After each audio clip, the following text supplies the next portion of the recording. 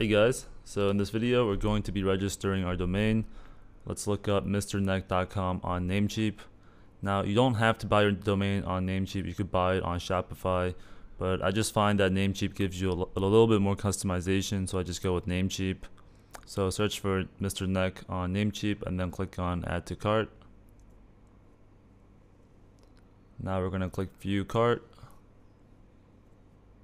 and then we're going to leave the WhoisGuard enabled to maintain our privacy, make sure nobody can really look up our domain and find our information. Click on confirm order. And then I'm going to put my card information and hit continue. And there you have it. Here's the domain we just bought. And yep, I mean, once you get your domain, let's move on to the next step.